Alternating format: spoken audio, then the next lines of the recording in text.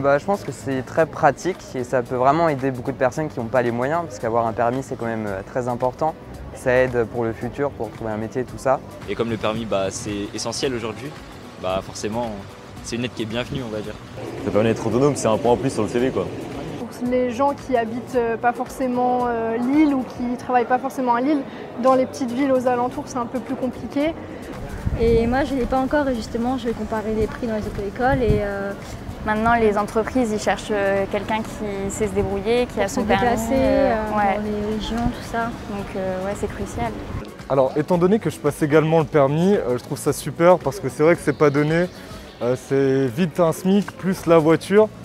Et c'est vrai qu'on en a besoin en tant que jeune parce que maintenant, même pour trouver un travail, on a besoin d'une voiture. Actuellement, je fais beaucoup de stages et quand je vois, j'ai mon frère qui demande pour travailler et dans les emplois qu'il demande, il demande souvent le permis de conduire et donc justement, je trouve que c'est indispensable.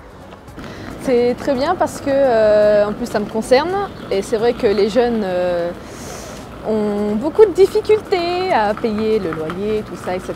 Et je trouve ça vraiment bien que la région propose des choses comme ça.